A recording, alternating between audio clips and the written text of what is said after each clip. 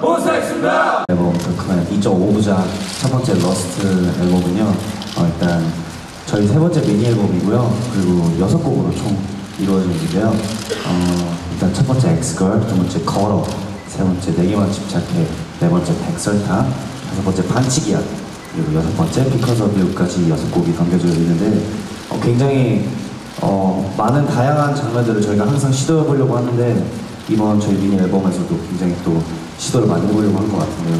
또 타이틀곡 걸어는 어, 항상 저희가 무단치 신속히 노래를 들으시면 항상 훅 부분이 랩으로서 이렇게 좀 세게 항상 그렇게 어, 맞아요. 네, 진행이 갔었는데 이번에는 저희가 좀 다르게 좀 서정적인 멜로디로.